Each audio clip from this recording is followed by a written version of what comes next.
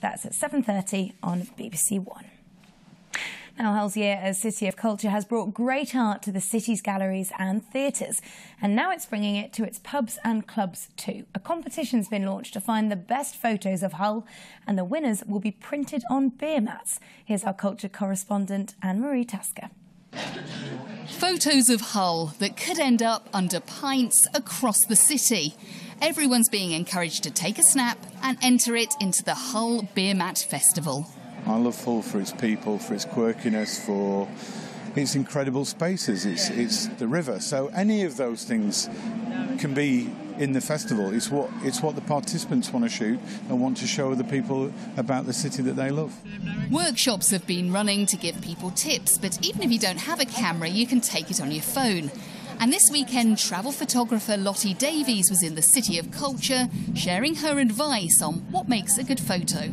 Photography is kind of the act of pointing. It's kind of going, look, here's Hull Maritime Museum. It's great.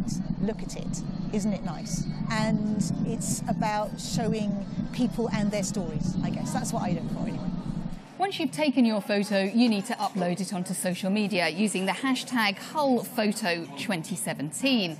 But there's also a serious side to putting photos on these, both getting people to be more creative and getting them to talk about art outside the city's galleries.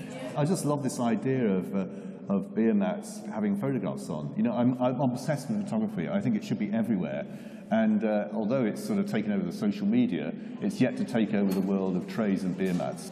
If you can't get people to come to a gallery, at least when they're sat having a pint, they'll be able to look at a nice picture on the beer mat.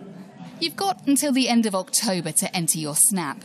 The 20 best will be in the city's bars, pubs, and clubs by December.